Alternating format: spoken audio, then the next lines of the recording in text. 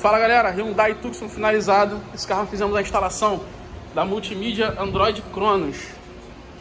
Vou mostrar para vocês aqui. A gente está espelhando aqui o iPhone 12. Hum. Ele está só carregando, o espelhamento é via Wi-Fi. Além disso, o aparelho já vem com alguns aplicativos instalados. Entre eles Spotify, YouTube, Netflix. Ele já vem com TV digital, mas pode ser também instalado TV HD. A gente manteve a câmera de ré do carro original. Também existe a possibilidade de colocar câmera frontal. Aqui é o aplicativo de espelhamento, aplicativo de câmera frontal.